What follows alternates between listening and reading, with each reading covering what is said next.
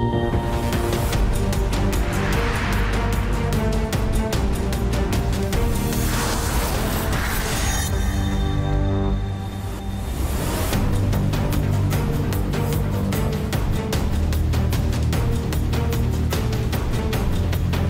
بكم في ساعة جديدة من هذه التغطية. نبدأها من هذه الصور الواردة مباشرة من ضاحية بيروت الجنوبية صبيحة ليلة جديدة إذا من الغارات حيث أفاد مراسل الحدث بتعرض الضاحية الجنوبية لبيروت لضربة جديدة ذلك عند حوالي السادسة صباحا بعد أن سادت أجواء من الهدوء الحذر في العاصمة اللبنانية وضاحيتها منذ منتصف الليل عقب أكثر من 15 غارة عنيفة طالت مناطق عدة في الضاحية الجنوبية ومحيطها وأطرافها وفيما طالت الغارات أيضا منطقة الأوزاعي في بيروت التي استهدفت للمرة الأولى وهي من الأحياء الشعبية المكتظة وشهدت حركة نزوح كبيرة بعد الغارة. فيما تصاعدت ألسنة النيران من قرب مستشفى رفيق الحريري في منطقة الجناح قرب الضاحية وهي أكبر مستشفى حكومي في لبنان. وأيضا لحقته أضرار كبيرة جراء الغارة. يا شباب باب الرئيسي هون الضربة هون بالوجه دغري إذا بدكم تجوا بإسعافات هاي الدخنة كذا ضربة في وحدة منهم دغري على باب المستشفى إجت. هون الغارة هون بوجه الحريري بوجه الحريري بوجه الحريري. يا شباب ضربوا حد حد المستشفى عنا هون. ضربة حد المستشفى عندي. ضربوا ضربوا المستشفى عندي مستشفى الحريري. ضربوا المستشفى.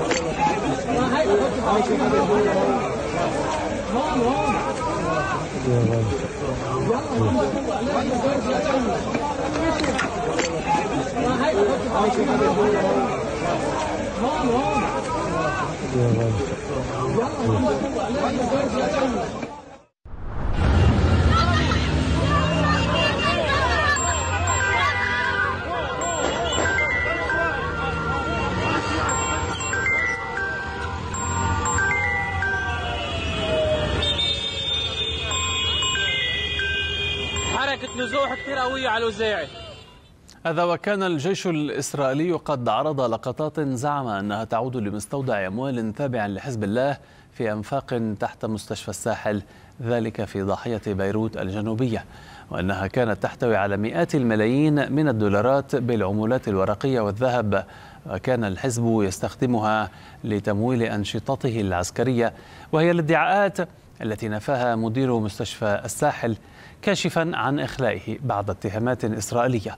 هذا وأعلن الناطق باسم الجيش الإسرائيلي أن إسرائيل تراقب المجمع ولكنها لا تنوي ضرب المستشفى رغم مزاعم استخدامه من حزب الله لإخفاء الأموال.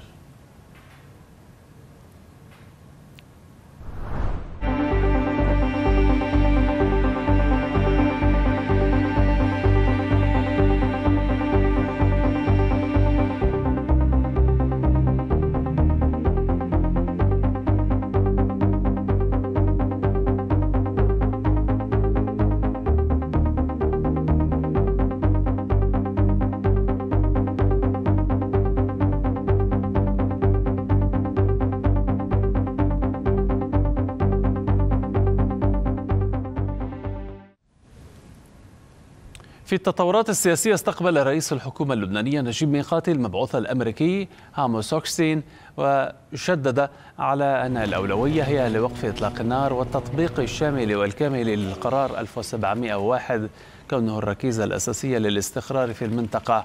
كما شدد على أن المساعي الدبلوماسية لا تزال قائمة وجدية وأنه يعمل على التوصل إلى وقف لإطلاق النار مطالبا كافة الأطراف بالعمل على التوصل إلى صيغة تفاهمية حول كيفية تطبيق القرار 1701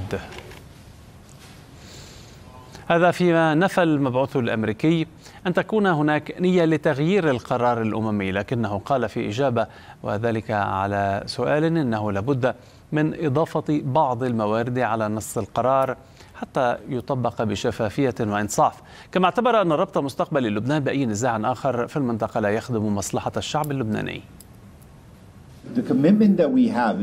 التزامنا يكمن في حل هذا النزاع بناء على القرار 1701 ولا بد أن يكون الحل مبنيا على هذا الأساس. ولفعل ذلك لا بد من ضمان أن يكون كل الأطراف ملتزمون بالقرار. لا أحد يستطيع مراجعة السبعة عشر عاما الماضية. أنا هنا لخوض هذه المحادثات وليس لتغيير القرار 1701 القرار سيظل كما هو. وذلك ما نسعى لتطبيقه من أجل إنهاء النزاع ولكن لا بد من إضافة بعض المواد حتى نضمن تطبيق القرار بشفافية ودقة وإنصاف ليعرف الجميع أي مسار نمضي عليه. أود أن أكون واضحا جدا. ربط مستقبل لبنان بالنزاعات الأخرى في المنطقة لم يكن في مصلحة الشعب اللبناني. وكما قال الرئيس بايدن فإن هدفنا هو التوصل لاتفاق شامل من أجل تطبيق القرار 1701 وضمان أن يكون هذا هو آخر النزاعات. القرار كان ناجحا في إنهاء حرب 2006 ولكن يجب أن نكون صادقين. لا أحد فعل شيئا من أجل تطبيقه في السنوات الماضية وهو ما ساهم في تصعيد النزاع الذي نعيشه اليوم. هذا الوضع يجب أن يتغير لأن التزام كلا الطرفين بتنفيذ القرار غير كاف لحد الآن.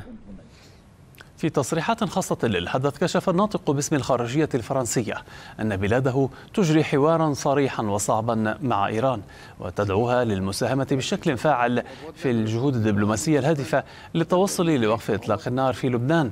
كما دعا الناطق الفرنسي طهران إلى عدم تأجيج التصعيد في المنطقة. Alors l'Iran est un acteur euh, qui compte, de, enfin un acteur euh, actif. إيران لاعب فاعل في أزمة الشرق الأوسط وفرنسا تجري معها منذ مدة طويلة حوارا صعبا في بعض الأحيان عندما اقترحنا منذ ثلاثة أسابيع صيغة للهدنة مع حلفائنا الأمريكيين كان يجب أن يؤدي ذلك إلى وقف لإطلاق النار في لبنان.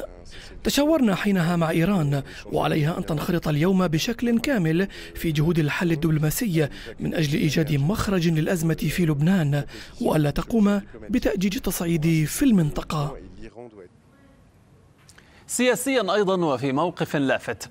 أعرب وزير الدفاع الفرنسي سيباستيان لوكارنو عن خشيته من اندلاع حرب أهلية وشيكة في لبنان. وأكد أن وقف إطلاق النار في لبنان بات ضرورة وحاجة ملحة للأمن الجماعي. كما اتهم في الوقت ذاته حزب الله باتخاذ قوة اليونيفيل درعا لعناصره. Par une crainte qu'on a sans doute موقفنا في الوقت الراهن مدفوع في المقام الأول بالخوف من حرب أهلية وشيكة في لبنان. هناك الكثير من النازحين والتجاذبات القوية جدا بين الطوائف. إن إضعاف حزب الله يمثل نبأ سارا وجيدا. ولا نستطيع أن نقول عكس ذلك. وأنتم تعلمون بأن لبنان يمكن أن ينهار بشكل كامل وأكثر مما هو عليه الآن. ولهذا السبب دعا الرئيس ماكرون إلى مؤتمر لدعم الجيش اللبناني. والسؤال كيف يمكن أن نعتمد على الجيش اللبناني لضمان سيادة لبنان؟ هناك الذراع العسكري والذراع السياسي وهذا الأمر معقد وخاصة في الميدان. المنطق الفرنسي هو المنطق الأمني مع احترام القانون الدولي. ومنطقنا اذا هو عدم تهديد قوات اليونيفيل وهو منطق يتعلق قبل كل شيء بالأمن والسلامة. ولنفترض أن جنودا فرنسيين قتلوا أو أصيبوا غدا ستسألونني حينها ماذا فعلتم من أجل ضمان سلامة قواتنا؟ نحن نحاول بشكل عملي لتجنب حرب أهلية في لبنان والأمر يتطلب جهدا كبيرا. للوقوف على آخر هذه التطورات ولمزيد من التحليل والنقاش ينضم إلي الآن ضيفي من بيروت الكاتب السياسي الأستاذ سيمو أبو فاضل. صباح الخير أهلا بك دائما أستاذ سيمو على شاشة الحدث وفي هذه التغطية لكل هذه التطورات. بداية أقف وإياك عن مساعي المبعوث الأمريكي الأخير. هل يمكن وصفها بالفشل ودخول لبنان في النفق المجهول؟ وماذا أيضا عن الغارات التي شهدتها الضاحية وأطرافها في هذه الليلة الماضية؟ اعتبرها البعض رسالة تحذيرية لحركة أمل متمثلة بزعيمها نبيه بري. صباح الخير أستاذ وصباح الخير للمشاهدين. طبعا الموفد هوكشتين أراد إنه يعمل ضغط قوي على لبنان وهي آخر محاولة تدخل في الحسابات الأمريكية الانتخابات الأمريكية أكثر ما تدخل في الرغبه يعني بمعالجة الوضع اللبناني لأنه الهدف هو بين تحرك بلينكن وبين تحرك هوكشتين هو تطبيق حركة نتنياهو اللي كان يقدم على عمليات واسعه بالأيام الأخيرة ردا على ضرب إيران لإسرائيل ومن ثم مقتل أربع جنود إسرائيليين بمسيرة ومن ثم يعني خصف منزله بمسيره لذلك كان الهدف عمليا هو يعني تطوير الأمور لكي لا تذهب المعركة في المنطقة نحو أوسع وتؤثر على الناخب الأمريكي لينتخب باتجاه ترامب.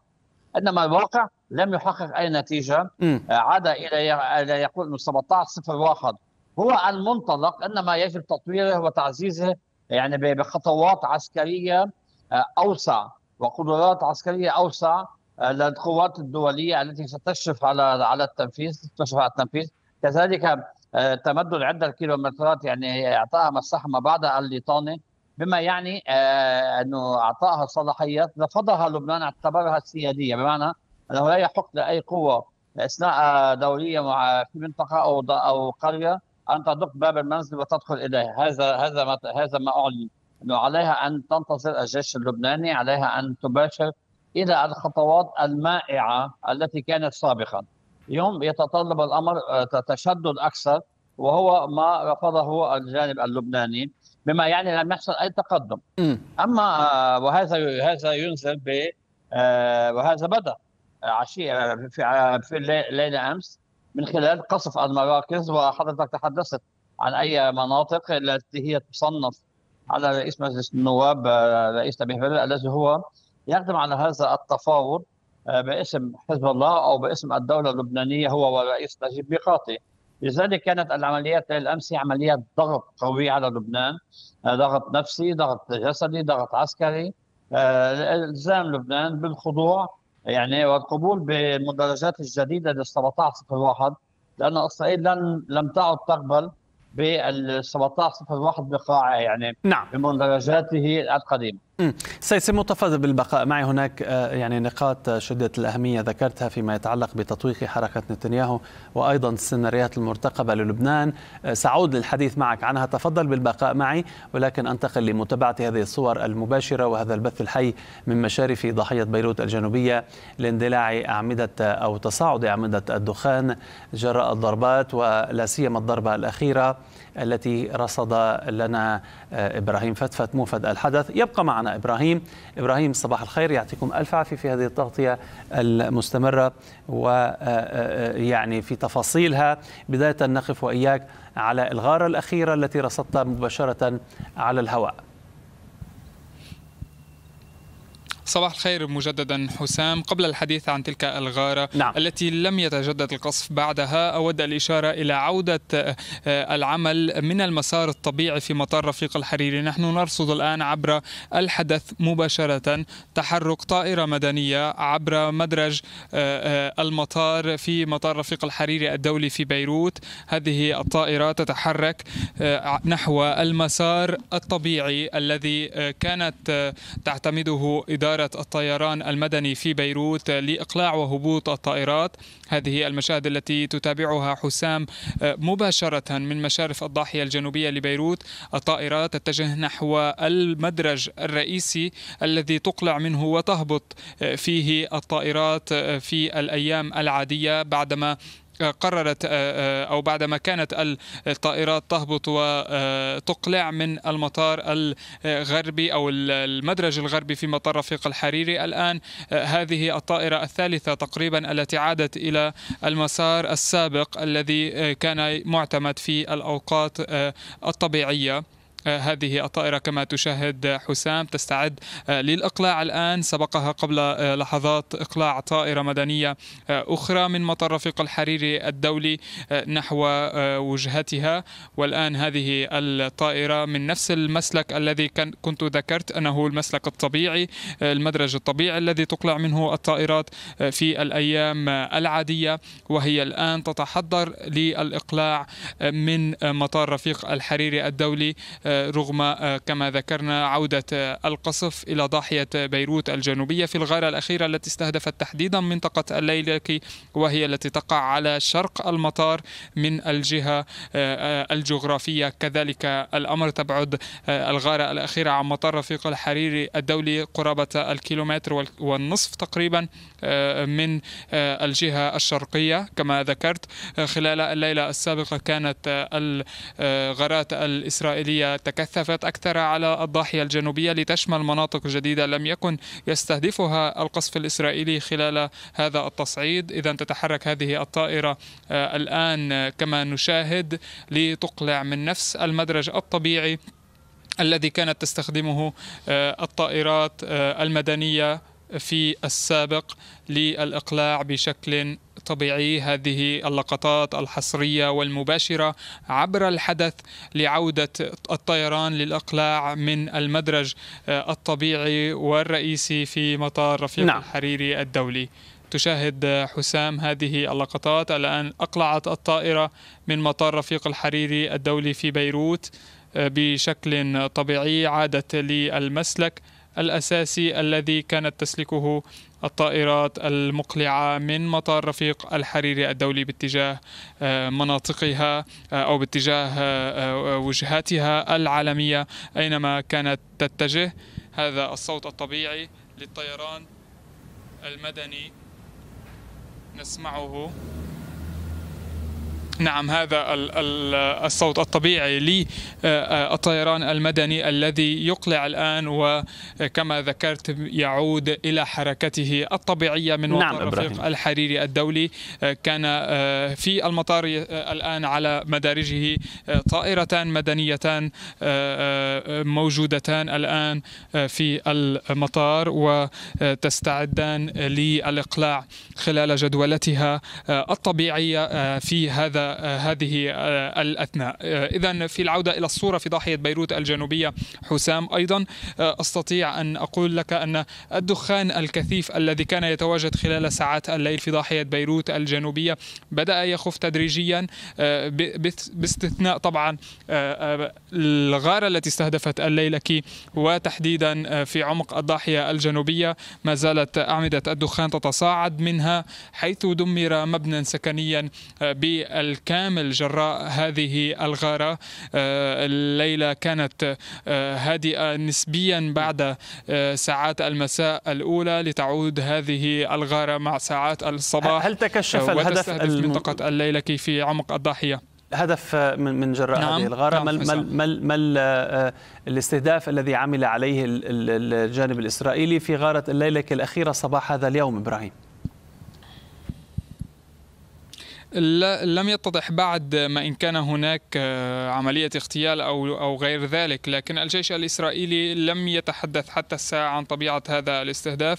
أعتقد أنها ضمن سلسلة الغارات آه، نفسها التي كان يشنها الجيش الإسرائيلي خلال الفترات السابقة وما يصفها بالبنية التحتية لحزب الله خصوصا أنه لم يرد أي آه، بيان حتى هذه الساعة أو تعليق جديد منه. حتى كذلك الأمر لم ينذر قبل استهداف آه، الليلكي آه، وتحديدا هذه آه، النقطة التي تم استهدافها لم تكن واردة ضمن الخرائط التي كان نشرها الجيش الإسرائيلي خلال هذه الليلة نعم. أيضا سنحاول في عدسة الكاميرا أن ننقل الصورة من الجهة الشرقية للضاحية الجنوبية ما إن كانت تظهر أعمدة الدخان في الجانب الآخر آه، من آه، مناطق الحدث وحارة حريك. هذه المنطقة التي تعرضت أيضا خلال الليلة السابقة آه، لقصف عنيف أدى لدمار كبير في الأماكن المستهدفة وسقوط إصابات وطبعا تضرر لتلك المنطقة والمباني المستهدفة. نعم. إذا نحاول في هذه الصور أن ننقل أعمدة الدخان التي تتصاعد كما هي تظهر الآن آه، عبر هذه المشاهد المباشرة حسام. كل الشكر لك إبراهيم حتى الآن بطبيعة الحال نحن مستمرون معكم في هذه التغطية. كان معي من بيروت. مفد الحدث إبراهيم فتفت. شكرا جزيلا لك. مرة أعود مرة جديدة أعود إلى ضيفي من بيروت الكاتب السياسي الأستاذ سيمون أبو فاضل. أستاذ سيمون كنت تتحدث قبل قليل عن محاولات أمريكية لتطويق حركة نتنياهو ولا سيما مع الاندفاع الذي شهدته الآلة العسكرية بعد محاولة اغتياله وبعد أيضا التصعيد في عمليات القصف. برأيك هل الجانب الإسرائيلي والجانب الأمريكي يعملون بشكل متكامل أم هناك تباين في بعض الأحيان في المسارات؟ في في يعني في تغطية أمريكية لنتنياهو الدينامية مشي فيها نتنياهو والقرارات اللي أخذها يعني والعمليات العسكرية فرضت على أمريكا الداعمة لإسرائيل أن تتبع نتنياهو وتؤمن التغطية له وتؤمن له السلاح إنما بين نتنياهو وبين هذه الإدارة الديمقراطية طبعا يوجد خلاف واضح. لم يستطع بايدن في بداية العمليات يعني العسكرية في المنطقة ان أن يردع إسرائيل ويضبط عملياتها للتوصل إلى تسوية تؤمن له تفاهم مع إيران وتعزز أوراق الديمقراطيين في الانتخابات المقبله لذلك يخاف هذا الفريق الديمقراطي من أن تنفجر بين إيران يعني أن يقدم نتنياهو على عمليات قوية باتجاه إيران. آه، توتر الأجواء الدولية تؤدي إلى رفع سعر النفط نتيجة اغلاق المعابر المائية. مما ينعكس سلبا على يعني ينعكس سلبا على الديمقراطيين من ناحية أن الناخب الأمريكي قد يعتقد بأن بايدن هو آه، يعني ترامب عفوا بأن الرئيس ترامب المرشح ترامب هو رأس الحرب في مواجهة إيران ولذلك سد اتجاهنا لانتخابه لذلك الأيام الفاصلة يعني تحمل هذا هذا المشهد المرتقب لأن نتنياهو لم يرد بعد على ضربة إيران ولا يستطيع عدم صحيح. الرد هذا في العقيدة الإسرائيلية آه، أمر يعني يعتبر إنه مقدس نعم إنه الانتقام والرد هل يمكن آه، يكون التصعيد في لبنان هو جزء من هذا الرد أم أن الجبهات منفصلة بالنسبة للجانب الإسرائيلي بين لبنان وإيران؟ الرد على حزب الله في لبنان يحمل عملية إرجاع لحزب الله لأن المعركة قائمة بين حزب الله ولا تعطي الزخم والنتيجة ذاتها التي تعطيها المعركة مع إيران. صواريخ باليستيه ربما قصف طيران مراكز حيوية لإيران قد يتم قصفها. إنما في لبنان هي عملية يعني ارجاعها يعني توجيه حزب الله كما يحصل من خلال ضرب بالمنطقة التي تضم بيئة حزب الله أو بيئة الصناعي للتأثير عليه. واتعابه في مقابل يعني آه، معركه الميدان كما صار مثلا في هذا الكلام. لذلك لا موضوع لبنان منفصل م. عن موضوع إيران. عملية إيران تأخذ مدى أكبر تأخذ بعد دولي لديها مضاعفات تؤثر على على يعني على على السياسة الدولية. إنما لا عملية آه، آه، عملية لبنان هي طبعا ستكون عنيفة وترتبط بمدى احراز تمكن إسرائيل من احراز تقدم هل هل يعني هناك يعني أهداف واضحة في لبنان أستاذ سيمو يعني البعض يقول إنه بدأ أو دخل الجيش الإسرائيلي في مرحلة الاستهدافات آه، لبنك الأهداف والتي هي أقل أهمية وليس لديها ثقل أو أو هدف عسكري واضح في الاستهدافات إن كان في الضاحية أو غيرها. بالواقع دعني أقول إن في كلام يبقى الهدف الأساسي لاسرائيل في لبنان هو الأهداف البشرية يعني أو أو مسؤولين أو قيادات حزب الله. لأن صارت تعلم بأن تدمير المباني يعني هو أمر بات يعني أمر يومي إن كان في جنوب اللبناني أو في في في الضاحية بهدف الضغط على بيئة حزب الله. إنما انه البيئة انه اقتنعت في هذا الواقع. إنما هي ما ترصد وتود استكماله هو ما يوجد يعني, آه، القيادات يعني المرتبطة المرتبطة قيادات حزب الله. وقد تبين بالأمس أنها اغتالت مسؤولين في حزب الله في قلب العاصمة السورية دمشق. فاذا الهدف الأساسي طبعا ما عدا العسكري يعني في المجال الأمني آه، هو عمليات التصفيات وضرب القيادة ويعني آه، شبكة القيادة وما تبقى من من مسؤولين تعتبرهم إنه من من من من الأركان. هذا الهدف الأساسي طبعا عدا عن ال 1701 تحقيقه بغايات جديدة بشروط جديدة والتقدم بالميدان بمفهوم إسرائيل لفرض واقع على لبنان، اذا الأهداف منفصلة عند إسرائيل. اسمح لي أن أشير لهذه الصور المباشرة المباشرة التي نتابعها من مشارف الضاحية الجنوبية. آه، مشاهدينا إذن هذا بث حي من مشارف الضاحية. يبدو أن إحدى المناطق التي تم استهدافها آه، ما تزال تندلع فيها الحرائق وتندلع أعمدة الدخان بكثافة من تلك المنطقة. طيب سيد سيمو يعني هناك آه، ممارسات عمد الجيش الإسرائيلي في الآونة الأخيرة على بثها من خلال الفيديوهات وهي آه، جزئية التفخيخ يدخل إلى القرية اللبنانية في الجنوب ويفخخها بالكامل وينسف هذه القرية عن بكرة أبيها هل آه، تثير مخاوف لديكم هذه الممارسات؟ إن كان مما تكشفه من نوايا إسرائيلية معينة بفرض آه، آه، منطقة عازلة ولا سيما أيضا بالضغط على المستوى الاجتماعي بعدم عودة آه، سكان الجنوب إلى أراضيهم وإلى قراهم يعني ما تقدم يغم عليه العدو الإسرائيلي في جنوب لبنان يغم عليه في قلب العاصمة بيروت وفي الضاحية من تدمير يعني أبنية. إنما في تلك المنطقة طبعا يريد منطقة يعني مكشوفة يريد أن يريد أن يعني كمان يحقق يعني أوجاع. يريد طبعا أن يعني يؤمن يحضر لهذه المنطقة العازلة إذا أمكن. آه، كلها تدخل في سياق آه، رغبته يعني في التمدد ويفضل يعني تفخيخ البلدات آه، لأنه يريد أن يتقدم إلى ما بعدها لاعتباره بأنها ربما تحمل انفاق تضم انفاقا أو ربما يتمركز فيها يعني بعد هل سيقبل المجتمع الدولي والولايات المتحدة منطقة عازلة في الداخل اللبناني هذه المرة؟ المجتمع الدولي حتى اليوم بين يعني يعني ضعيف أمام ما تقدم عليه إسرائيل.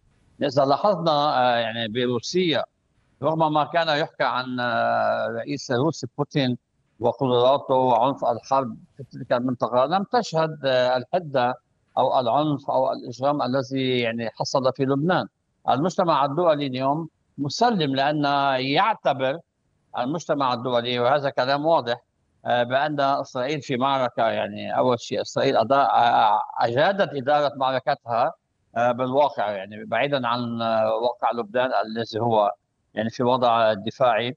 عندما انقض عليها يعني فريق حماس في السابع من من تشرين الأول كفريق يعني يصنف دوليا أنه إرهابي و يعني ومن مدرسة داعش والقاعدة وأخوان شيء وفي اليوم التالي انقضى عليها حزب الله من الجانب اللبناني بطلب إيراني.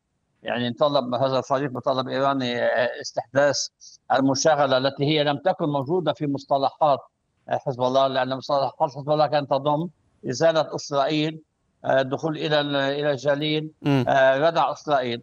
إنما عندما وجدت إسرائيل بأنها شهدت في اليوم الأول معركة انقضاض حماس بحجم هذه العملية ومن اليوم التالي آه، من قبل الحزب حزب الله المهدوي الشيعي آه، والكلام عن المقدسات آه، ذهبت في اتجاه أنها أمام معركة وجودية دينية تضاقى عليها هذا الفريق يعني الذي هم يعني هم هم ازرع لايران يعني الفريق الشيعي والفريق السني ولذلك قتل في سوريا تمكنت من جذب غطاء دولي ودعم دولي للمضي في عملياتها لإزالة وضرب ما يسمى الإسلام العسكري على تخومها نعم. هذا واقع مختلف كليا من ذلك المجتمع الدولي عاجز ومسلم بما تقدم عليه إسرائيل آه، رغم بعض الانتقادات الشكلية. كل الشكر لك آه، أستاذ سيمون على كل هذه الإيضاحات آه، والمعلومات. كان معي ضيفي من بيروت الكاتب السياسي الأستاذ سيمون أبو فاضل. شكرا جزيلا لك مرة جديدة. إذا نشاهد وإياكم مشاهدينا هذه هذا البث الحي من مشارف الضاحية الجنوبية لبيروت. نتابع وإياكم. إذا ألسنة الدخان تتصاعد وأعمدة الدخان الكثيف من آه، تلك المناطق التي على ما يبدو لعلها تم استهدافها خلال آه، غارات هذه الليلة وهذه الغارات التي تجددت صباح هذا اليوم حوالي الساعة السادسة بصباح بتوقيت بيروت حيث آه، شهدت آه، تلك المنطقة تحديدا منطقة الليلكي بحسب ما أفاد مراسل الحدث إبراهيم فتفت من هناك.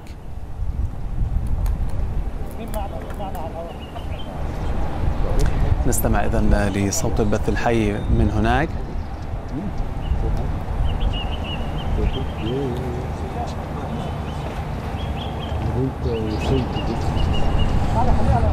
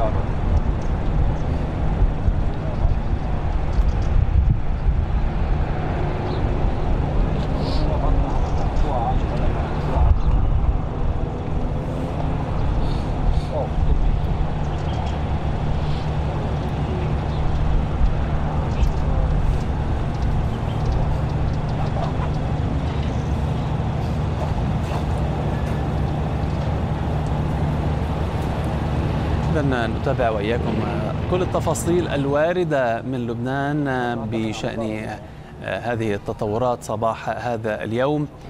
هناك بعض المعلومات تشير إلى تجدد عملية القصف. نقف على حقيقة هذه الأنباء.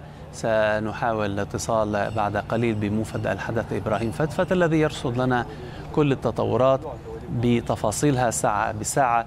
ولحظة بلحظة من هناك كان إبراهيم وقف على تجدد الغارات صباح اليوم في منطقة الليلكي بحسب المعلومات الواردة من هناك بعد هدوء بعد هدوء حذر ساد لعدة ساعات والذي أعقب سلسلة غارات أحصاها مراسل الحدث عند 15 غارة في الضاحية الجنوبية ومحيطها. موفد الحدث إبراهيم فتفت جاهز الآن معنا مباشرة على الهواء. إبراهيم تحية طيبة. أهلا بك من جديد. يعطيكم ألف عافية في هذه التغطية المستمرة. اذا ما حقيقة الأنباء التي تحدثت عن تجدد الغارات وما نتابعه من تصاعد ألسنة الدخان. نعم حسام تشاهد هذه أعمدة الدخان الكثيفة للغاية التي تتصاعد من شويفات العمروسية في محيط ضاحية بيروت الجنوبية تتصاعد بكثافة من هذه النقطة. لم نسمع أي صوت للاستهداف لا من غارة ولا غارة جوية ولا حتى قصف من البوارج الحربية. فجأة تصاعدت هذه أعمدة الدخان. قد تكون من استهداف سابق خلال الليلة الماضية والآن عادت لتندلع حرائق بداخل هذا المكان. قد يكون هذا السبب لهذه أعمدة الدخان. ولكن كما أود الإشارة إلى أنه كانت حدثت مثل هذه هذه أعمدة الدخان تصاعدت في السابق. من أماكن تم استهدافها في الليل عادت الحرائق لتندلع من المكان المستهدف خلال ساعات الصباح الأولى. قد يكون هذا الذي يتكرر الآن في شويفات العمروسية على مشارف الضاحية الجنوبية لبيروت ولكن لا طبيعة مؤكدة لهذا لهذا الدخان ما إن كان من هل كانت شويفات ضمن خرائط المستهدفة في سلسلة الغارات التي بلغت 15 غارة والتي رصدت لنا في أولى ساعات الليل إبراهيم؟ لم نسته... لم لم نرصد أي غارة على شويفات العمروسيه خلال الليلة الماضية، مم. هذا ما أستغربه، نحاول التأكد من مصدر هذه الأدخنة من من شويفات العمروسيه، لم نسمع خلال الليل أي استهداف لشويفات خلال الليلة الماضية. ولم ي...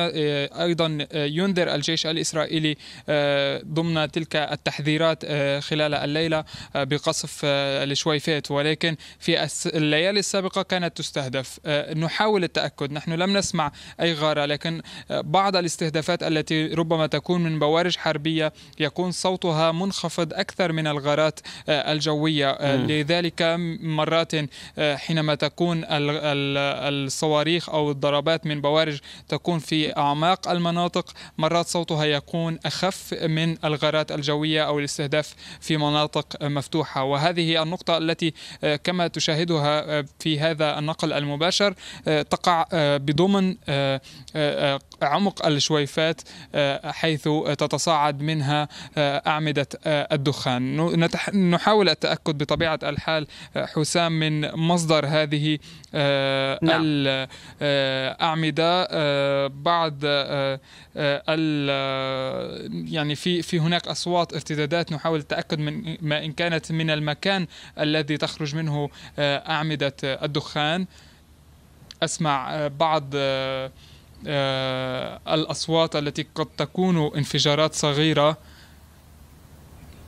توقفت الآن هذه الأصوات. سمعتها قبل قليل. آه، كما ذكرت هي آه، المنطقة لم تستهدف خلال هذه الليلة بالتأكيد لكن طبيعة الدخان بدأت تخف أو تتراجع من حيث الكثافة كما تشاهد كانت في فجأة اندلعت هذه الأعمدة وفجأة تصاعدت بكثافة كبيرة للغاية لكن الآن بدأت تتلاشى شيئا فشيئا في آه، أرجاء آه، هذه المنطقة حيث آه، نقف على بعد أمتار قليلة فقط منها. وكما ذكرت لم نسمع أي صوت للغارات لكن فجأة ظهرت أعمدة الدخان الأسود وبدأت تتصاعد بكثافة من منطقة شويفات العمروسية لكن الآن بدأت تخف أكثر كما تشاهد حسام بدأت تنجلي.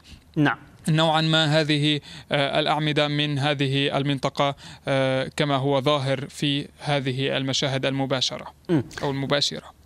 في في الأثناء أيضا إبراهيم للاستفادة من وجودكم آه، معنا ونحن نتابع هذه الصور المباشرة من عندك. نقف وإياك على سلسلة الغارات 15 غارة تم إحصائها ماذا في التفاصيل؟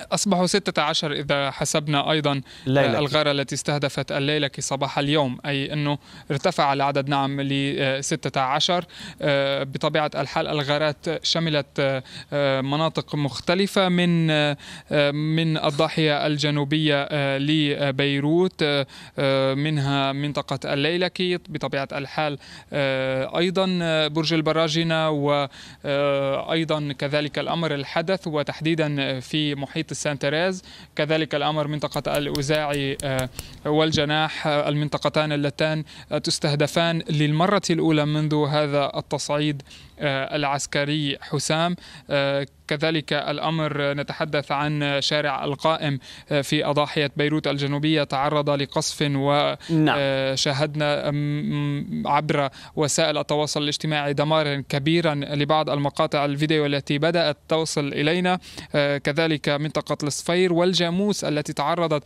إذا كنت تتذكر المشاهد التي نقلناها للدوي الكبير خلال الغارات نعم. كانت من نصيب منطقة الجاموس آه، في ضاحية بيروت الجنوبية حسام. كل الشكر لك إبراهيم. بطبيعة الحال نحن مستمرون معكم في هذه التغطية وسنعود إليك فور بروز الجديد منها. كل الشكر لك حتى الآن مفد الحدث إبراهيم فتفت من بيروت.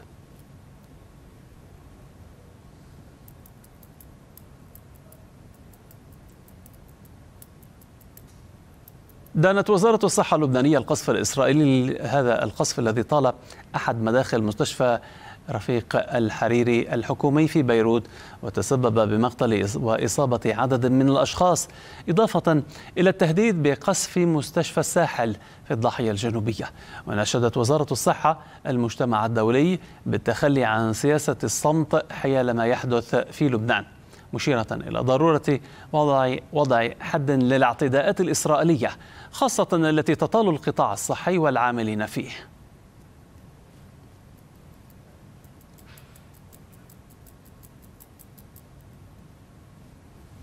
إذا ولمزيد من النقاش ينضم إلي الآن ضيفي من فيرجينيا الدكتور ديفيد رمضان النائب الجمهوري السابق عن ولاية فيرجينيا وأستاذ العلوم السياسية في جامعة جورج ميسن. صباح الخير. أهلا بك. دائما دكتور. على شاشة الحدث. إذا نقف وإياك على آخر السيناريوهات المرتقبة بعد فشل زيارة المبعوث الأمريكي إلى لبنان. برأيك هل بجعبة وزير الخارجية أنتوني بلينكن الذي يزور المنطقة أي من جديد في هذه الآونة؟ شكرا لاستضافتي أستاذ حسام للحقيقه ليله صعبة. كنت عم بطلع هلأ على تويتر. 230 ضربة عم يدعي الإسرائيليين انهم ضربوا خلال الساعات اللي مرقوا ببيروت. لا ما في جديد للأسف. ولم تكن زيارة هوكستين ليكون فيها جديد بل كانت لتمرير الرسائل لا أكثر ولا أقل. ولن يكون هنالك جديد من بلينكن إيذر. اليوم نحن موجودين بحالة لا لا نهاية لها على الأقل بالأيام القريبة حسب قراءتي. ولن يكون هنالك نهاية لها ما دام لبنان أو اللبنانيين منتظرين من الخارج أن يأتي الحل، لن يكون هنالك من الخارج حل، كتبت مقال من أسبوعين قلت إنه على أمريكا أن تدعم وتمول الجيش اللبناني لحفظ السلام ولبسط سلطة الدولة ولكن على اللبنانيين أن يقوموا باداء الدولة. بدهم ينتخبوا رئيس جمهوريه بده يكون في عندك وزارة حكومة طوارئ تقول للعالم أجمع ليس هنالك بقى من حزب الله موجود في في النظام السياسي على الأقل اللبناني أو النظام السلطة اللبنانية. وهذه الوهرة وهذا التنظيم اللي كان مستلم البلد بطريقة غير مباشرة الدويلة داخل الدولة انتهت. ونحن جاهزين لعمل ما يجب أن في هذا الصدد دكتور ديفيد يعني وأنتم تحبون الأمثلة الشعبية. هناك مثل شعبي لبناني يقول من يأكل العصي غير من يعدها. يعني المعارضة وبعض اللبنانيين بحسب تعبيرهم نالوا ما نالوا من السلاح في الداخل والسلاح المدعوم ايرانيا وما إلى ذلك. وبالتالي هناك تخوف ينبع من عدد متراكم من السنوات للوقوف بوجه هذا التنظيم. مزبوط وأنا برا أنا ما عم باكل عصي ولكن مزبوط كلامك. ولكن نفس الوقت في شيء اسمه عقل كمان. اليوم يا أستاذ حسام وين هذا التنظيم؟ في حدا منهم اللي قاعد عم يحكي إنه في تنظيم وحزب الله يريد أو حزب الله لا يريد قادر يوصل لقائد واحد من حزب الله؟ مين ياخذ القرار اليوم؟ ما في حزب الله بقى انتهى الموضوع. مم.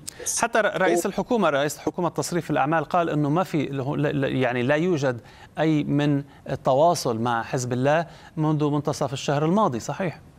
مظبوط. ما في ما في قياده لا عسكريه ولا سياسيه ولا تنظيميه ولا اجتماعيه في مليون ونص شيعي اليوم موجودين بالطرقات الله يعينهم بلا بيوت وبلا بلا بلا فلوس وبلا شيء. اليوم شفنا بال 24 ساعة اللي مرقوا حتى تنظيمتهم المالية بغض النظر إذا كانت شرعية أو لا. البنك تبعهم كمان راح مصريات العالم راحت. ليس هنالك من حزب الله موجود بقى. في مجم... في في في تنظيمات عسكرية موجودة في الجنوب في ناس عم بتحارب في مجموعات في ولاد ضياع في عالم معها صواريخ مزبوط بس هول ما حينزلوا على بيروت هول قاعدين من الجنوب عم بيحاربوا مع إسرائيل. انت اليوم عليك ك ك كدولة لبنانية وكتنظيمات لبنانية وكمعارضة بطلتوا معارضة؟ يا جماعة ما في دولة يروحوا استلموا في 128 نائب وأنا برلماني سابق أنا عامل لك 128 نائب يا أخي. شيل الثمانيه تبع حزب الله ال 120 الباقيين. وينهم شو قاعدين عم يعملوا طيب يقال إنه البرلمان اللبناني اليوم يعني برئاسته تفضل عدم الانعقاد. وبالتالي هناك يعني محادثات مع رئيس البرلمان نبيه بري لمحاولة لتقريب وجهات النظر. هل سينجح الأمريكي أو غيره؟ أي كانت هذه الجهة في إقناع نبيه بري بعقد جلسة لانتخاب رئيس لملء الشغور واستنهاض الدولة؟ ليس على الأمريكي أن يقنع نبيه بري على اللبنانيين أن يقنعوا نبيه بري. نبيه بري رئيس بالمجلس ولكن المجلس ليس ملك أبيه. نبيه بري عنده 10 15 نايب من 128 نايب. في 100 نائب اليوم بالبرلمان لازم ينزلوا ويقعدوا بالمجلس لحد ما يصير في جلسة غصبا عن نبيه بري. لا يتملك هو مش ورثانه عن ابوه للمجلس آه وليس على الأمريكي واللبنانيين ناطرين ليجي الأمريكي، الأمريكي ما حيجي يعمل، الأمريكي بيبعث واحد بيبعث رسائل بيحكوا إنه عم نحكي ارسم ما في كلام. لا الأمريكي ولا العربي ولا الأوروبي ما حدا يا أستاذ حسام اليوم رح ينزل يسعف لبنان ولازم اللبنانيين يستوعبوا الموضوع في اليوم وجود للدولة يجب أن يحصل من داخل لبنان وعندما يحصل العالم أجمع يأتي لمساعدة لبنان. أولهم أمريكا. وثانيهم أوروبا. يعني قالها قالها اليوم أو بالأمس المبعوث الأمريكي عاموس سوكشتين قال إنه الولايات المتحدة مستعدة في حتى المساعدة في إعادة الإعمار وأيضا دعم الجيش في حال تطبيق ال 1701 بشكل جدي. ما المقصود بتطبيقه بشكل كامل وجدي هذه المرة؟ سريعا أرجوك. انتخبوا رئيس الجمهورية اعملوا وزارة ونزلوا الجيش لحتى يستلم وشيلوا حزب الله من هذه معاملة جيش ووطن ومقاومة اللي ما لها طعمة هنالك فقط دولة ودولة ودولة وليس آخر. وعندما لبنان يدعي نعم. وجود دولته وسلطة دولته تقوم أمريكا ويقوم الغرب ويقوم العالم أجمع. ومن داخله الإخوان العرب بدعم لبنان وإعادة أعماره. وكل ال ال ال كل من يحب لبنان نعم. من خارج. كل الشكر لك دائما دكتور على كل هذه المعلومات والإيضاحات. كان معي ضيفي من فيرجينيا الدكتور ديفيد رمضان النائب الجمهوري السابق عن ولاية فيرجينيا وأستاذ العلوم السياسية في جامعة جورج ميسون. شكرا جزيلا لك. كشفت وسائل إعلام مصرية نقلا عن مصدر رفيع المستوى أن القاهرة ترى أنه من الضروري عدم إضاعة الوقت للوصول إلى صفقة شاملة. وكان موقع أكسيوس الأمريكي قد نقل عن مسؤولين إسرائيليين أن مصر قدمت مقترحا جديدا لاستئناف مفاوضات غزة. يشمل صفقة تبادل الأسرى المحدودة كخطوة أولى. يعقبها العمل على صفقة تبادل أكبر. وبحسب المسؤولين قدم رئيس المخابرات المصرية المقترح للشباك والذي بدوره سيعرضه على الحكومة الأمنية الإسرائيلية. نقل محللون عسكريون إسرائيليون تقديرات وهذه التقديرات التي وصفت بالمخيبة تتوقع أن يستغرق الدمار والتدمير للقدرات العسكرية لحماس أن تستغرق ذلك بشكل كامل لنحو خمسة إلى عشرة أعوام. وأنه وفي حال تقاعست القيادة السياسية عن ترجمة الإنجازات العسكرية فستبقى الحرب تدور في حلقة مفرغة. لم يكن التوغل العسكري الثالث خلال عام للقوات الإسرائيلية داخل جباليا ومخيمها شمال غزة أكثر سهولة من سابقيه بل واجهت القوات مقاومة شرسة. عبوات ناسفة وقذائف وعمليات قنص تسببت بمقتل قائد لواء مدرعات ومجموعة من الجنود والضباط. היום بتكلوت בצפון رصوات עזה. خلال مواجهة في شمال قطاع غزة في منطقة جباليا سقط قائد اللواء 401 العقيد أحسان دقسة. وأصيب قائد كتيبة بجروح خطيرة وأصيب ضابطان آخران بجروح طفيفة. دخل القادة إلى المنطقة بالدبابات وخرجوا منها لمراقبة المنطقة حيث أصيبوا بعبوة ناسفة وهم خارج الدبابة. المحلل العسكري آف زيتون نقل أن الجيش مصاب بخيبة أمل وأن تقديراته تتراوح بين الخمس والعشر سنوات من العمل العسكري للقضاء على قدرات حماس كليا. وذلك أيضا مرهون بشرط إيجاد نظام حكم بديل وإلا ستدوم حرب برية أبدية. تتأرجح بين الفوضى في القطاع وحكم حماس الضعيف. في الجيش الإسرائيلي هناك من يمزق شعره من الخوف والتأخير في القرارات السياسية. ليقيموا مستوطنات في غزة ليأمروا بتشكيل إدارة عسكرية ليجلبوا حكومة فلسطينية أخرى ليبدأوا شيئا ما. حتى الآن لم يترجم أي إنجاز للجنود في الميدان إلى استراتيجية أو خطوة سياسية. القتال يدور في حلقات وسيمتد لسنوات.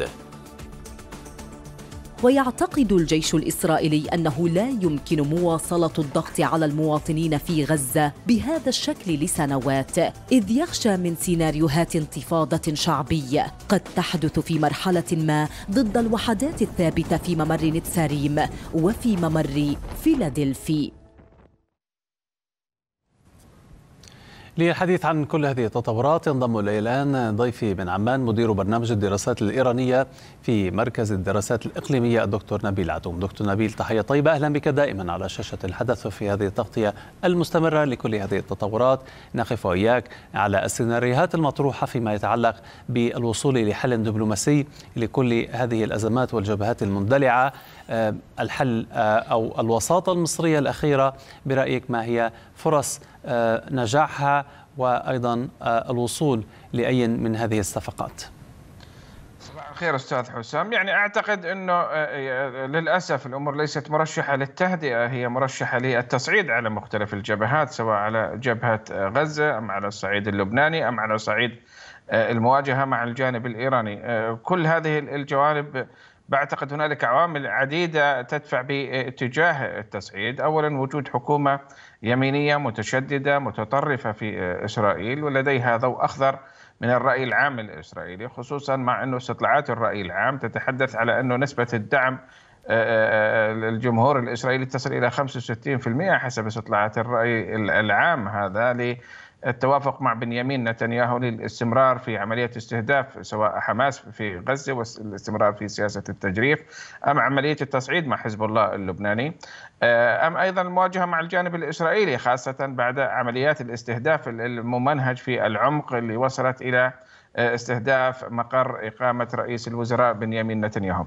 آه، الآن في واقع الأمر أيضا الظروف الدولية حسام تلعب دور مهم جدا خاصة أنه الولايات المتحدة الأمريكية تعيش الآن مرحلة الانتقال مرحلة البط العرجاء وهي الفترة الفاصلة ما بين الانتخابات الأمريكية آه، آه، اللي بقي يعني به 5 نوفمبر وما سوف تسفر عنه من نتائج خاصة أن الجانب الإسرائيلي ربما يحاول أن يؤثر على هذه الانتخابات عبر إما التعجيل بالضربة العسكرية لإيران وهذا سوف يكون له تداعياته الكبيرة على الأمن الإقليمي برمجة نعم. لأنه إحنا أمام عدد من السيناريوهات سواء سيناريو الضربة المحدودة عبر استهداف قواعد الدفاع الجوي منصات الصواريخ منصات طاقة الطائرات المسيرة أو السيناريو الشامل عبر استهداف منشآت استراتيجية قد تؤدي إلى رد إيراني وهذا الرد سوف يكون عبر عدة أشكال طيب. سواء كانت بشكل مباشر أم عبر وكلائها وأذرعها أم الرد المركب ما بين الرد الإيراني ورد الوكلاء بالتعاون بين بين بعضهم البعض. دكتور ولكن أمام كل هذا التصعيد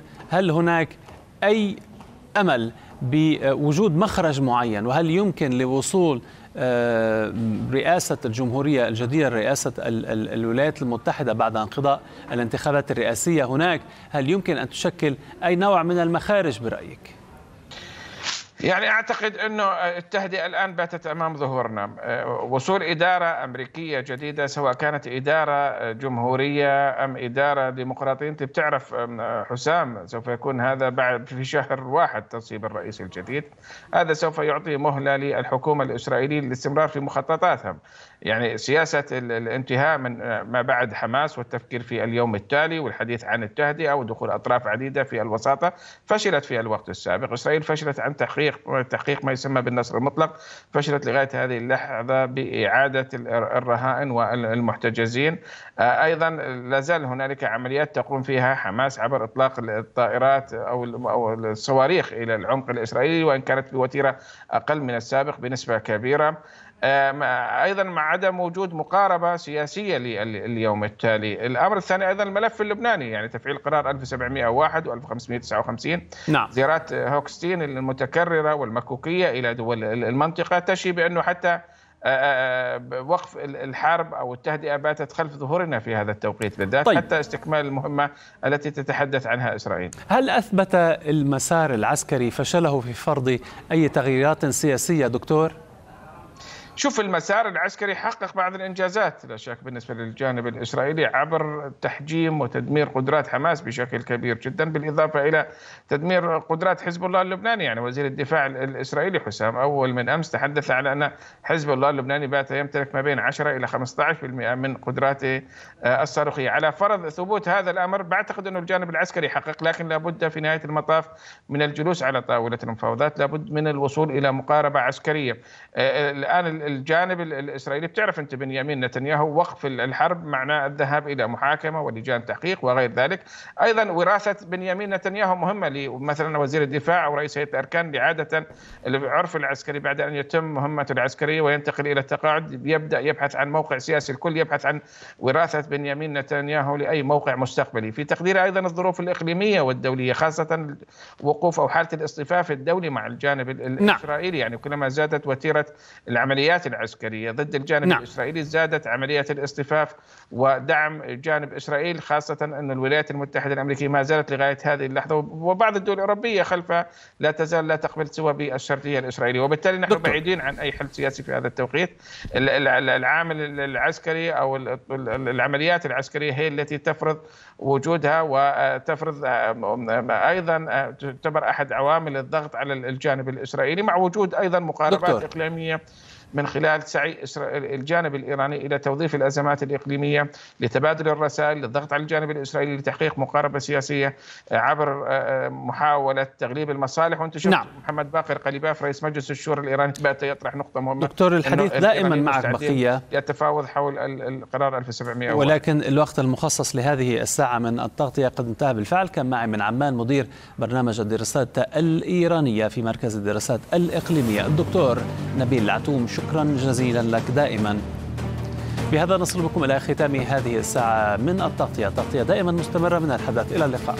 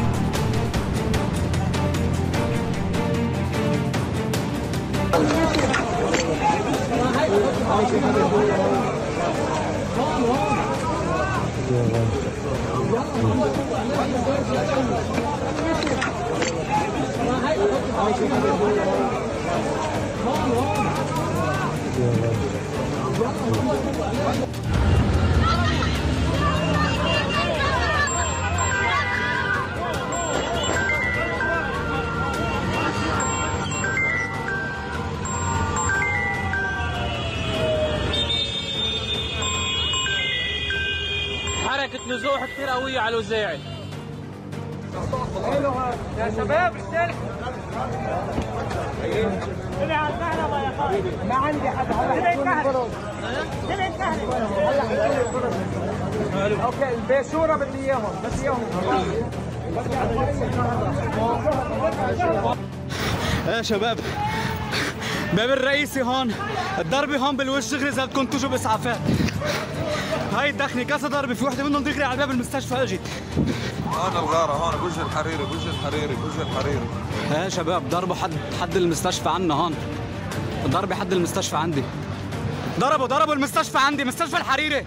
ضربوا مستشفى الحريري عندي شوف